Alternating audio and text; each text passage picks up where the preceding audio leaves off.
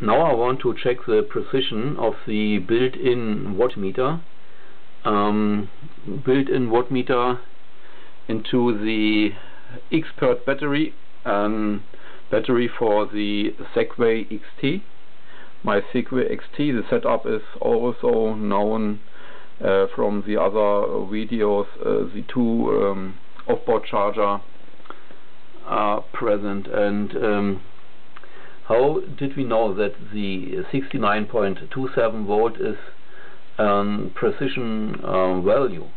So I took my um, highest precision multimeter, the Fluke 87, with a precision of plus minus uh, 0.05% and this uh, connector, the measurement cable to the uh, Fluke and with the with this connector I go to the speed loading connector and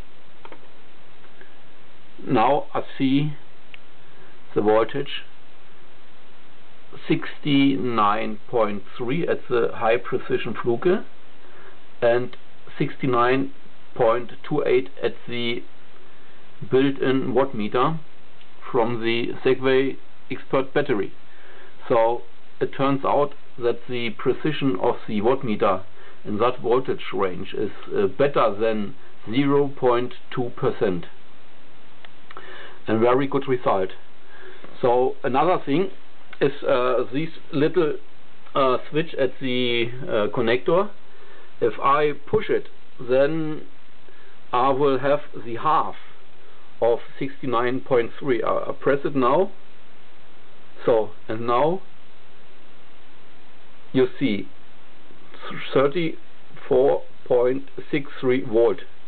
It's the half from 69.3 that mean that the uh, two um, battery packages inside the XperT battery uh, are balanced. It's a possibility to control the uh, balancing between both um, battery packages. And that shows to me that the balancing thing is given. You see that? So inside the Segway battery we have um, 80 cells from the lithium batteries uh, lithium cells sorry and uh, uh, divided in two packages are 40 cells okay hopefully it turns out what I'm meaning. Sorry for my English